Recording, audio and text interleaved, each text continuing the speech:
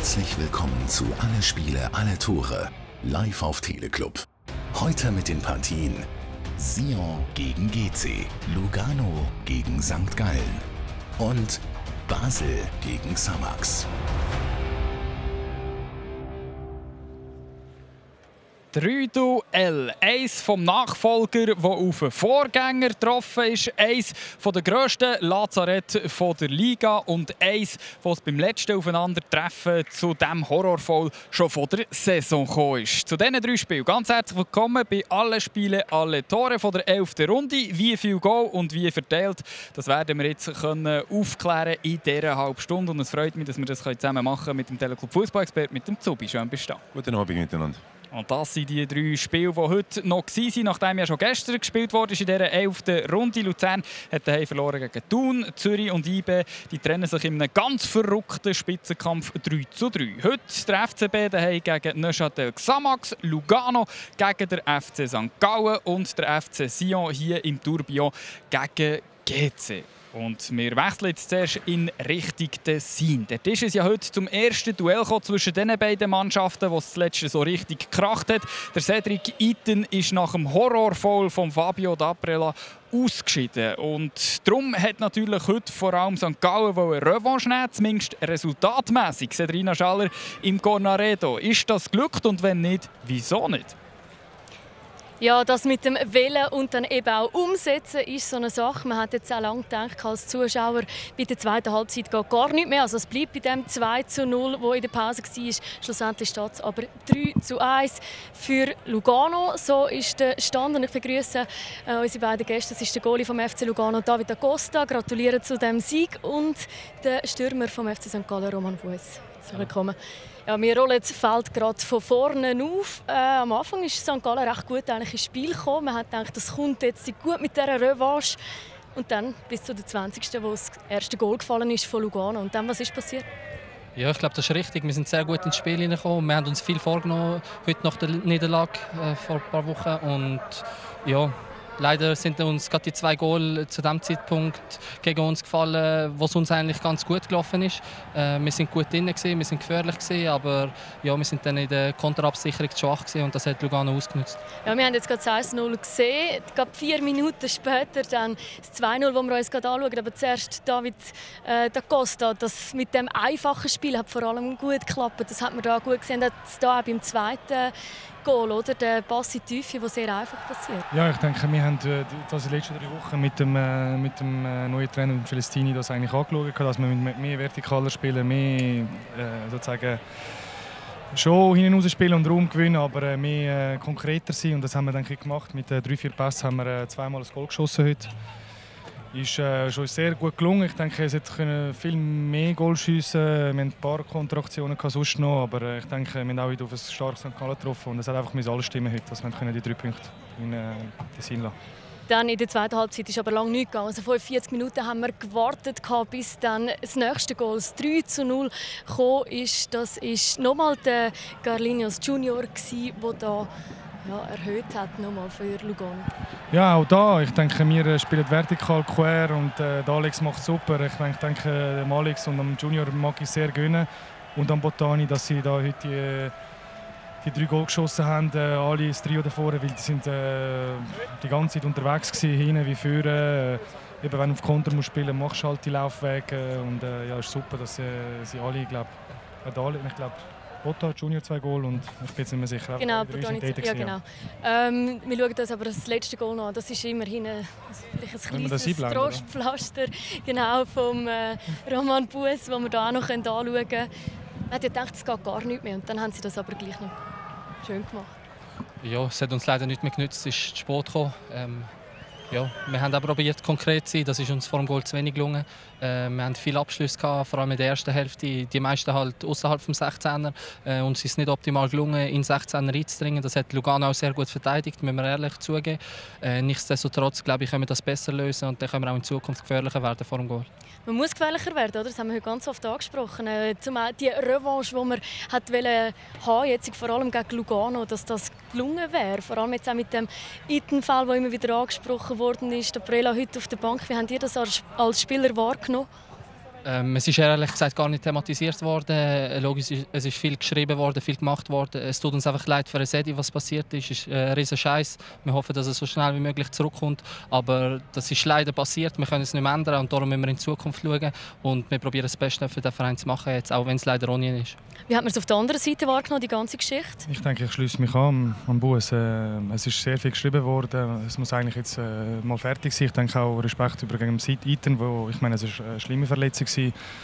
Es muss einfach jetzt mal sein, es ist passiert, äh, niemand hat es wollen, auch der Fabio nicht. Und ich denke für den Fabio ist es nicht einfach, wie auch nicht für die Iten, aber äh, es muss einfach jetzt fertig, es ist jetzt her und es, ich habe jetzt das dritte Mal, wo ich das Foul erlebe, zweimal mit dem FCZ, mit dem Gilles und mit dem Burim, äh, also ja, es passiert und äh, niemand wünscht sich das und äh, ja, aber jetzt ist gut, jetzt können wir langsam das Tagesgeschäft über und das ist schauen, schauen, was genau. die Liga entscheidet. Gen ja, genau, es sind jetzt äh, Berichte, die jetzt entscheiden, glaube und ich denke, es ist gut, dass der Fabio nicht gespielt hat. Äh, der Trainer glaube richtig entschieden. Ich glaube auch für den Fabio und gut. Ja, gut wir wünschen alles Gute. Danke vielmals, dass ihr Merci. beide da sind, David Agosta und Roman Bues. Merci. Ja, und damit mit dem 3 zu 1 gebe ich wieder zurück auf Sion über Berge auf die andere Seite. Also, das 3 zu 1 für Lugano gegen den FC St. Gallen. Heimpremiere von Fabio Celestini gelückt. Absolut, absolut. Und wenn man die schönen Goal sieht, äh, das sind natürlich wunderbar ausgespielte Goal äh, von Lugano und hochverdient gewonnen. Und äh, ja, ein wunderschönes, schönes Debüt von Fabio Celestini, sicher beim Heimspiel. Und damit auch wieder ein Präsident, der etwas ruhiger tickt in Lugano. Und, äh, und wenn wir schon über Berge sind, dann können wir jetzt auch noch weiterfahren. Und zwar ganz in Norden in St. Jakob Park. Da ist der FC Basel heute auf Neuchâtel Xamax getroffen. Und weil IB ja gestern unentschieden gespielt hat, hat Basler heute die Möglichkeit gehabt, auf 9 Punkte zu verkürzen. Bei drinnen noch direktuell würde das heißen, Gianni Wieler, dass sie es wieder in den ganz eigenen Händen hätten, vielleicht an die Spitze zu kommen. Die Frage ist, haben sie die Chance genutzt unter dem Anblick Rückblick von Roger Federer und dem Arthur Kohn? Ja, also dass die beiden zugeschaut haben, hat nur teilweise Glück gebracht am FC Basel. Am Ende gibt es eine Punkteteilung zwischen dem FC Basel und dem Aufsteiger aus der Challenge League, Neuchâtel Xamax. Ein Vertreter darf ich schon bei uns am Tisch begrüßen, Raphael Nutzelo. Schönen guten Abend und herzliche Gratulation zu dem Punkt. Und jetzt müssen wir mal etwas erklären. Ich habe nachgeschaut, 35 sind sie, aber wenn man ihnen zuschaut auf dem Feld, hat man das Gefühl, sie sind eher 23, 24. So. Nein, nein, es ist Kompliment, merci. Nein, äh, nein ich versuche immer äh, das Beste zu machen, wenn ich bin auf dem, auf dem Feld äh, Wochenende ist äh, schönste, schönste Tag für, für uns Fußballer und äh, äh in meinem Alter ich genieße solche Momente, weil äh, ja, wie jeder, wir sind der Moment von aufhören, es kommt. Aber äh, ich will noch, noch, noch viel, viel machen im Fußball, also mit meiner Mannschaft es heißt, äh, diese Saison noch uns retten. Das ist für uns eine äh, ja, tolle, tolle Leistung, wenn wir das machen und äh, ich gebe alles für, für meinen Verein. Und ein Punkt in Basel, der kann ja dann am Schluss ganz wertvoll sein. Es ist nicht nur für Sie das Wochenende wunderschön, sondern eben auch für uns, weil wir Fußball anschauen und über die Szenen diskutieren, wie zum Beispiel die in den 39. Minuten, wo der Raphael Nutzer eben involviert ist. Vielleicht, wenn Sie selber noch mal, wie haben Sie die Situation gesehen? Die Frage war, Penalty, haben Sie eine Berührung gespürt? Ja, ich glaube, ich bin, ich bin der Goalie, ich komme, kommt nicht an. Äh, ich bin vor dem Verteidiger und ja, äh, er trifft nicht mit dem Fuß. Ich glaube, wenn es ist. Ich glaube, da sieht man es am besten in dieser ja, Einstellung. Äh, wenn ich, wenn ich nehme das Gegenteil, es ist ja genau, es ist Ayeti für für Basel, es ist vor Mutenskurve, es ist ganz klar Penalty. Wenn du bist Aufsteiger, äh, weniger, äh, am Ende gesagt. Und äh, ja, äh, er hat FIFA auch nicht, aber wenn, als Aufsteiger musst du das akzeptieren. Und äh, am Halbzeit habe ich schon gesagt, beim Interview, wir, wir sind auf dem guten, guten Weg. Gewesen. Und, äh, und äh, zweite Halbzeit, wir können den Goal schießen und dann äh, ja, schade für die drei Punkte, aber wir müssen in Basel nie, nie äh, enttäuscht sein, wenn wir machen einen Punkt. Also und apropos FC Basel, wir begrüßen gerade noch einen Vertreter, den Silvan Wittmer bei uns. Schönen guten Abend. Hallo zusammen. Wir haben jetzt gerade Penalty-Szenen angeschaut, kurz vor der Pause. Eine Minute später der Führungstreffer für den FC Basel. Dann schauen wir natürlich, wenn sie jetzt gerade bei uns am Tisch angekommen sind, selbstverständlich auch noch an den Albiano Jettis erste Kopfballgoal in dieser Saison vom FC Basel. Eigentlich auch eine Wahnsinnsstatistik. Und schöne Flanke, by the way. Merci. Äh, habe ich nicht gewusst, dass das erste Kopfballgoal ist. Äh, allgemein sind wir äh, nicht mega hochgewachsene Truppe im Durchschnitt, aber das äh, soll keine Entschuldigung sein. Ich denke, Wichtig ist, dass man in 16er vordringt, ob man sie dann mit dem Kopf oder mit dem Fuß oder mit dem Knie Nacht ist egal. Äh, in dieser Situation sind wir mehrere Spieler im 16er und dann kann es immer gefährlich werden. Das war der Führungstreffer vor der Pause. Da hat man gedacht, es läuft so, wie es viele vermutet haben. Aber nicht so mit Neuchâtel Xamax in dieser Saison. Es ist unglaublich schwierig, gegen die Mannschaft zu spielen. Vor allem, wenn sie sich jetzt in den letzten Spielen so weit zurückzieht und über Konten versucht, zum Erfolg zu kommen. Und so ist es dann eben auch beim Ausgleichstreffer. Ich glaube, den schauen wir uns auch noch gerade mal schnell an. Es war die 52. und 6. Saisongoal von Raphael Nuzzolo.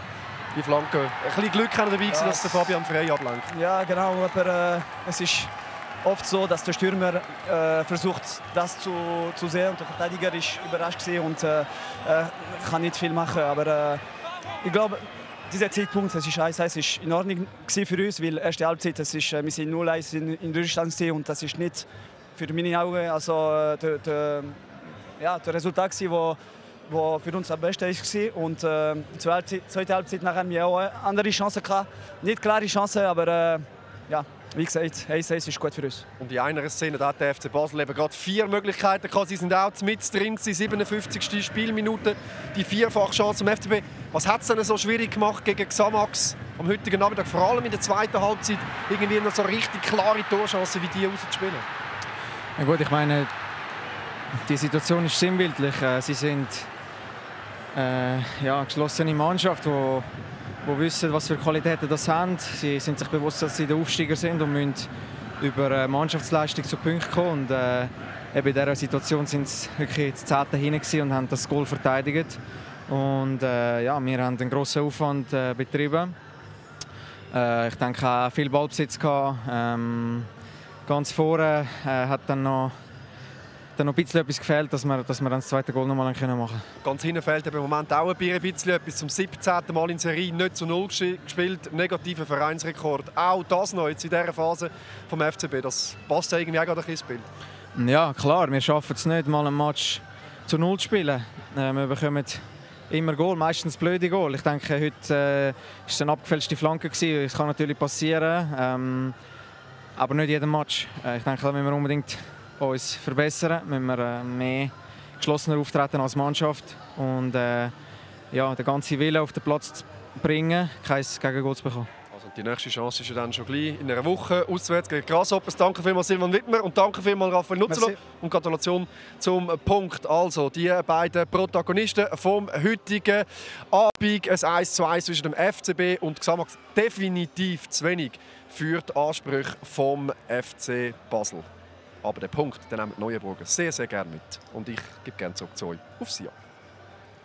Und ich nehme einen Punkt sehr gerne auf, den Gianni Wieler angesprochen hat. Der FC Basel 17 Mal in Folge nicht zu null. 14 Mal nicht zu null, Heinz Lindner. Das habt ihr zuletzt geschafft. Jetzt heute endlich mal zu null. Das war das Erste, was er gesagt hat, hier, äh, wo der an den Tisch kam. Endlich! das ist jetzt eine grosse Erleichterung in diesem Fall. Absolut. Also ich glaube, wir wissen, äh, wie wichtig äh, es ist äh, für die Torhüter ähm, zu Null zu spielen, aber auch für die Mannschaft, dass, der das weiß, dass zu Null gespielt werden kann. Jetzt ist uns das endlich gelungen, auswärts gelungen und ja, wir sind alle froh darüber. Zwei Goalies, beide nicken, was heisst zu Null? Da war immer der Goalie auch gut, gewesen, oder? So wir, haben, wir haben vorhin schon diskutiert, Mevion. da bist du der Moderator, das kannst du nicht wissen. Aber da das Gefühl kenne ich gar nicht, oder? Nein, zu Null mal miteinander Theorie also, machen. Gut, okay. gut, dann darfst du 20 Mal aufs Goal knüpfen und wenn ich dann mal äh, einen habe dann, und zu Null spielen, dann weiss ich dann vielleicht auch, wie das Gefühl ist. Aber einer, der ganz gut weiss, wie sich das Gefühl anfühlt, ist der Heinz Lindner in der 17. Minute. Der Birama Ndoi, Innenverteidiger Notabene, zeigt hier seine Gelenkigkeit genau gleich wie dir auch. Ja, es war ein, ein, schöner Fallrückzieher und ich bin einfach froh, dass ich äh, in der Situation der Mannschaft habe helfen können. Äh, der Ball wird geklärt, kommt wieder zurück, äh, schwierig zu verteidigen dann und äh, ja, bin froh, dass ich ihn noch irgendwie rauskratzen kann. Ja, die macht das sehr schön, sehr überraschend. Verteidiger, wie er da den Fallrückzieher ansetzt. Und der Ball kommt ziemlich gut. Eine gute Pace hat er drauf. Und da, da haben sie äh, schon am Anfang gezeigt, hey, ich bin parat, ich bin parat. Und es ist natürlich immer wichtig, dass das dann auch über die Mannschaft weitergeht. Und so hat äh, eigentlich geht ja die erste Halbzeit gespielt. Sie sind wach gewesen, sie sind vorne drauf gewesen. Und das hat mir eigentlich sehr gut gefallen. Wie hat nach der Thorsten Fink auf das Spiel eingestellt? Wir haben viel schon darüber diskutiert. Ich bin ja dabei gewesen wäre bei der Besprechung. Also wirklich genau so. Das war der Matchplan. Ähm, vorne draufgehen, aggressiv, ähm, Gegner wenig äh, räumen lassen im, im Aufbauspiel. Äh, ist uns, glaube ich, in der ersten Halbzeit sehr gut gelungen. Bin auch der Überzeugung, dass wir in der ersten Halbzeit äh, die größeren Chancen gehabt haben. Ähm, hätten vielleicht noch eine machen können und mit 1-0 in die Halbzeit gehen oder sogar mit äh, 2-0. Aber ja, wichtig ist, dass sie 0 hinten steht und äh, ja, das war für uns wichtig. Und in der ersten Halbzeit war noch etwas anderes wichtig, nämlich ein Entscheid vom Schiedsrichter in dieser Szene hier wir haben lange gerätselt, Penalty oder nicht. Das ist auch ganz schwierig, müssen wir sagen, für einen das Schiedsrichter. Zubi. Er kann das nicht sehen, aber mit der Lupe sieht man es halt. Ja, man sieht es hier in dieser Situation. Das rechte Knie von Zvetkovic hinten dran geht ans linke, an linke Ferse. Und da bei der Lupe sieht man, da berührt er, da sieht man, wie das Fußgelenk kommt und nachher ist er umgeflogen. Und also, wenn er da eine Penalty pfiffen hat, hättet ihr euch nicht können beklagen in dieser Situation, aber sehr schwierig natürlich zu sehen. Der Svetkovic ist Sport gekommen, hat ihn oben nur leicht berührt, äh, aber unten dran sieht man einfach den Kontakt, der da ist und äh, hat dafür eigentlich eine gelbe Karte bekommen und das war ein bisschen brutal. Gewesen. Ja. Richtig. Ähm, ich glaube, dass sich der Schiedsrichter auch auf die Situation oben konzentriert hat, ähm, was meiner Meinung nach auch zu wenig gewesen ist. Und wenn der Schiedsrichter das, äh, sich auf oben fokussiert äh, und die Situation oben beurteilt, was mit der Hand passiert ist, die Hand war dort aber wirklich zu leicht, um einen Elfmeter zu pfeifen und hat dann den Kontakt unten nicht gesehen. Das haben wir auch so analysiert. Also der Oberkontakt hätte nicht gelangt für eine Penalty in dieser Szene. Und dann ist es in die zweite Halbzeit gegangen. Da haben beide Teams irgendwie ein bisschen mehr Mühe gehabt. Auch GC, grosse Abschlussmöglichkeit vom FC Sion. Und zwar der Moussa Chite. Und wieder seid ihr der, der die Endstation ist, Heinz Lindner. In dieser Situation hervorragend, äh, wie der Heinz den Ball um den Pfosten äh, kratzt. Da sieht man sehr, es kann flanken. Da sind er viel zu weit weggestanden, in der Verteidigung auch. Und der Chite kann den Ball direkt nehmen, aber die holt holst hervorragend raus. Das war ganz schwierig. Und auch hier hat er wieder gezeigt, nach der Pause, hey Jungs, ich bin da. Und das braucht man. Einen guten Kohle, der parat ist, der wach ist. Und so hat sich das auch übertragen über die ganze Mannschaft. Und schlussendlich haben sie das zu Null können über die Runde bringen, was natürlich sehr wichtig ist mal für GC. Und trotzdem, was verbannt war, oder der Unterschied von der ersten zu der zweiten Halbzeit. Man hat in der zweiten Halbzeit hat man nicht mehr den Druck entwickeln. Man hat nicht mehr den, sag jetzt mal, den Vorwärtsdrang gehabt, so ein bisschen das Pressing aufgezogen. Gibt es einen Grund dafür oder hat man gesagt, jetzt wollen wir halt einfach mal versuchen, auf Null spielen, weil Sion wird sicher kommen in der zweiten Halbzeit?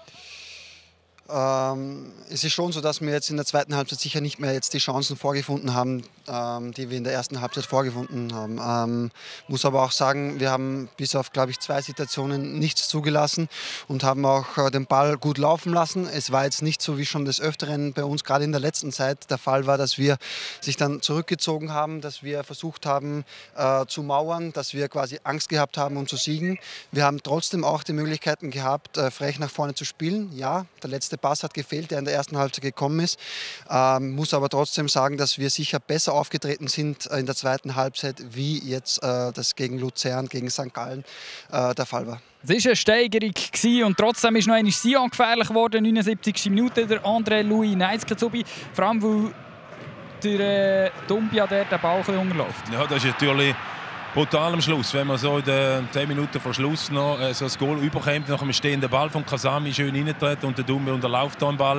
Und das ist eine riesige Chance eigentlich für den Knight in dieser Situation. Aber äh, nochmal, äh, es ist ja normal, dass sie auch ein bisschen mehr Druck erzeugen Und mit dem Kasami-Einwechslung habe ich eh gefunden, ist sie ja stärker geworden, ist mehr Körper noch dabei gewesen und da sind stärker geworden und aber nochmal ähm, die Situation ist unter Kontrolle gewesen. Nein, jetzt dass der Ball müsste aufs Goal kommen. Das war jetzt halt Innenverteidiger-Abschluss, typisch, oder? Wenn wir es mit dem Biraman Doi vergleichen. Aber wo... Er hat einen schöneren Fallrückzieher gemacht. der Neizke müssen noch ein bisschen mehr Abschlüsse trainieren in Zukunft. Dann. Nein, der Neizke ist ja dazu da, dass es eben 0 zu 0 steht. Und es ist dann eben doch noch mal eine Möglichkeit da für GC, dass es vielleicht sogar 1 zu 0 könnte sein. Und auch da ist es eine kleine Beruhigung am Fußgelenk von Nedim Bayrami. Auch da hat es Penalty geben. Ja, und da haben wir recht schauen. Also das ist äh, ganz genau angeschaut. Wir lassen jetzt hier mal so laufen und man sieht, unten dran steht der berührt den Fuß. Da berührt den Fuß, äh, der Abdelawi, in dieser Situation. Und da hätte sie äh, gar nicht dürfen reklamieren dürfen. Genau jetzt hier. ist drauf gestanden. Und äh, das ist auch für mich eigentlich ein Penalty. Äh, ja, dann wird es wieder ausgeglichen schlussendlich. Absolut richtig. Ähm, der Verteidiger geht da in der ersten Aktion schon auf hundertprozentiges Risiko, äh, weil wenn er dann den Ball nicht trifft, dann gibt er gleich, gleich bei der ersten Aktion elf Meter. So hat er nochmal die Möglichkeit, den Ball zu klären, macht aber dann wieder einen Foul, also zweimal Glück für die äh, Sion. Aber du hast es ja nicht gesehen von hinten, oder? Ich habe es nicht gesehen von hinten. da- Das kommt noch, das kommt noch. Das Ja, ist ich die nächste jetzt- Generation Goalies, die wird. aber Okay, es hat okay. schon so ausgeschaut, also warum muss ich dann nicht wieder fallen lassen? Also ich habe mich schon gewundert dann auch im Spiel. Äh, jetzt sehe ich es ganz klar, also wirklich äh, hier ja, ausgleichende Gerechtigkeit oder Glück. Es ist ja so, GZ hat ja noch nie wirklich einen Sieg können bestätigen Immer wenn man gegen ein Team gewonnen hat, ist darauf aber wieder eine Niederlage gekommen. Heute hat man jetzt ein 0 zu 0 geholt. Es ist glaube aber schon ein anderes GC nach dieser Nazi-Pause, wenn man jetzt heute die 90 Minuten anschaut. Man kann sagen, man hat es eigentlich gleich bestätigt, obwohl man nicht gewonnen hat. Wie seht ihr es? Ja, auswärts, äh, wir sind hierher gefahren, um drei Punkte zu holen, das muss man ganz klar sagen, äh, mit unserem Matchplan. Wenn man aber die drei Punkte nicht holen kann, ähm, dann ist wichtig, nicht zu verlieren. Das haben wir heute Und zu gemacht. Null spielen. Und zu Null spielen. Muss aber auch sagen, wo ich von der Länderspielpause zurückgekommen bin, bin erst am Mittwoch äh, wieder eingestiegen ins Training und äh, die Mannschaft war hungrig, die Mannschaft war aggressiv. Da habe ich schon ein bisschen gemerkt, okay, da ist was anders und äh, ja, jetzt müssen wir auf äh, dieser Schiene bleiben. Und das nächste Spiel ist dann gegen den FC Basel. Die haben 17 Mal ja nicht zu 0 gespielt. Also die Chance ist dann vielleicht auch nicht so schlecht. danke. Ja. Also danke vielmals, seid ihr vorbeigekommen. Genießt den Punkt und gute Heimreise. Danke sehr, danke sehr. Ja, und wir wollen natürlich auch noch eine Stimme hören vom FC Sion. Und dort war heute eine andere Auffälligkeit bei diesem Spiel. Und zwar hat Sion seit 57 Spielen in Folge nicht mehr 0 zu 0 gespielt. Und heute, da haben sie eben selber dazu beigetragen, dass es so weit gekommen ist, eben auch weil der andere Louis Neitzke den Ball, den wir angeschaut haben, in der 79. Minute nicht im Kasten versorgt hat, jetzt im Interview bei Nathalie Barras. Andre Luis Neitzke, Sie hatten eine super Möglichkeit in der zweiten Halbzeit. An was sind Sie schlussendlich gescheitert? Ja, schade. Ich, hoffe, äh, ich wollte äh, nach oben schießen, aber Ball war zu, äh, äh, äh, zu, zu hoch äh, gegangen. Aber ja, schade, schade. Aber zum Glück haben wir einen Punkt geholt und auch äh, zu Null gespielt. Es war ein, eine sehr hitzige zweite Halbzeit. Wieso wurde es so hitzig plötzlich? Viele Emotionen waren da drin. Ja, wir wollten äh, die drei Punkte gewinnen und ähm, darum haben wir äh, äh, ein bisschen Druck äh, gemacht und ja, aber schade. Aber jetzt haben wir gegen Liebe wichtig gespielt äh, auswärts und muss konzentriert sein. Es wird auch sehr, sehr schwierig gegen die Berner Young Boys auswärts. Ja, sehr schwierig, aber wir sind parat, wir sind parat und äh, wir müssen konzentriert sein und äh, ja, wenn, wenn wir Chancen haben, wir müssen treffen, aber heute leider haben wir nicht getroffen. Vielen Dank, merci. Und da gibt es noch etwas ganz Kurzes anzufügen. Es hat ja noch einen Spieler gegeben, der von Anfang an gespielt hat, der Jared Cassa, ein ganz junger 21, uh, 20 natürlich aus der 21 gekommen, ist heute noch ohne Durchschlagskraft geblieben. Vielleicht mit dem Grund, warum dass man vorne heute nicht ganz so die Durchschlagskraft hatte. Oder was ist deine Einschätzung? Also er hat es gut gemacht, er ist bemüht. Ja, also was will man jetzt von ihm erwarten, dass er jetzt da Wunderdinger äh, vollbringt. Also Murat hat sicher da genau überlegt, äh, er will ihn jetzt mal zeigen, mal ins kalte Wasser rühren, kein Druck, nichts, äh, Spiel auf und hat seine Sachen eigentlich okay gemacht. Aber ähm, was noch interessant war, jetzt bei dem Interview vom Neizig, man hat auch bei ihm gespürt, man hat endlich zu Null gespielt. Ist auch etwas Gutes. Und da merkt man, es ist heute so ein bisschen das zu Null gewesen. Weiss, du willst es nicht mehr hören, aber bei beiden Mannschaften ist jetzt wichtig gewesen, dass man einfach mal kein Goal bekommt und so kann gestärkt dann. Jetzt äh, Sia geht äh, äh, nach Bern gegen IB. Äh, ist immer gut, wenn man weiß, man hat im letzten Match äh, kein Goal bekommen. Und GC spielt die Heim gegen Basel, wo es natürlich auch wichtig ist, dass man weiß, äh, wir haben kein Goal endlich. Und das sind so Sachen, wo man den nächsten Schritt reinmachen kann. Nächster Schritt, also vor allem auch von GC in der Tabelle hat das folgende Auswirkung. Das sind die Resultate, die es heute gegeben hat. Also Basel 1-1 gegen Xamax, Lugano 3-1 gegen St. Gallen, Sion 0-0 gegen GC. In der Tabelle da tut sich nur bedingt etwas damit. Vorne bleibt alles eigentlich gleich. IB und Thun, eine Berner Spitze, Zürich und Basel punktgleich mit 17 Punkten. Lugano verbessert sich natürlich, hat jetzt 13 Punkte und ganz hinten Neuchâtel Xamax einen Punkt gewinnt, will aber eben Sion und GC auch noch einen Punkt holen, bleiben sie Schlusslicht von der Tabelle. Und damit wechseln wir von der Super League zu den beiden Schweizer Mannschaften, die nächste Woche europäisch spielen. Der FCZ haben im letzten Grund gegen Bayer Leverkusen in der Europa League und die Berner die treffen am Dienstag daheim auf die Fledermäuse von Valencia. Showdown im Stade de Suisse. Die dritte Hürde in der UEFA Champions League nehmen die Berner Young Boys gegen den FC Valencia in Angriff. Nach zwei Niederlagen heißt es für die Berner Verlieren verboten. IB gegen Valencia. Am Dienstag live und exklusiv auf Teleclub Sport. Die Spiele der UEFA Champions League werden Ihnen präsentiert von Hotels.com und PlayStation, offizielle Sponsoren der UEFA Champions League. Das Spiel am Dienstag live und exklusiv nur zu sehen hier bei uns bei Teleclub. Und es bleibt mir nur noch Danke zu sagen, bevor du wieder etwas sagst, das mit zu Null endet, habe ich gefunden, machen wir es ganz kurz. So, danke vielmals für den Tag. Danke auch, Mihun. Und Ihnen daheim danke vielmals für das Einschalten. Ganz schönen Sonntagabend und morgen einen wunderbaren Wochenstart.